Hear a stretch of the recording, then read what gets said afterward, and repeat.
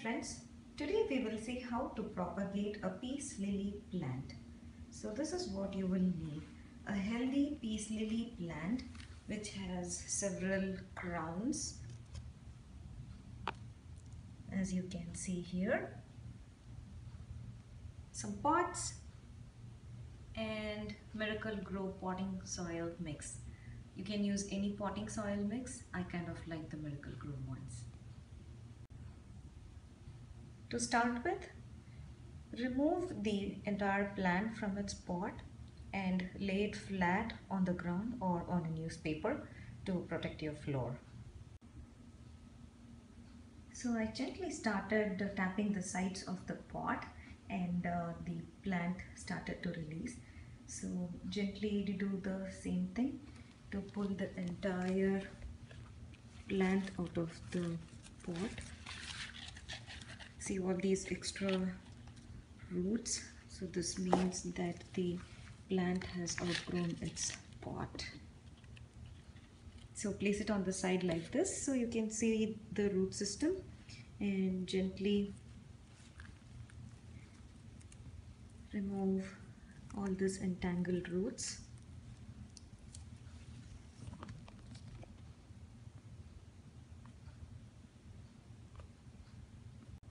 See the root system in this plant is extremely thick.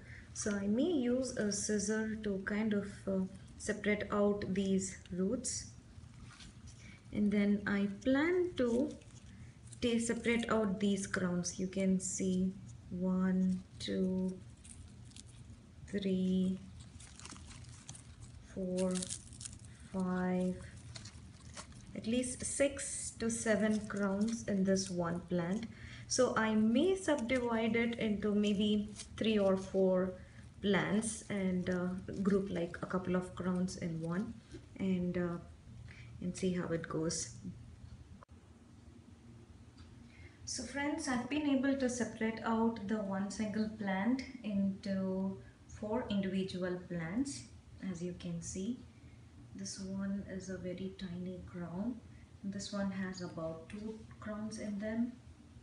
This is a slightly bigger one. And finally this was the mother plant which I kept together like this. So now I'm going to go ahead and bring out the pots add some soil and plant these. So here's my first pot with some Miracle-Gro potting soil in it I've put it maybe at around uh, two-thirds full I'm Going to place my plant inside and add some more soil. So I've added more soil and here's the first uh, plant. I'm going to go ahead and continue the same for the rest of the three plants. Okay, so I have planted all the plants in their individual pots. I'm going to water them a little bit and then place them under indirect sunlight. So peace lilies do best under partial shade. So mine are house plants. So I'm just going to keep them near the window. Alright, so here's how my plants have turned out. I think they look gorgeous. I hope this video has helped you. Thanks for watching.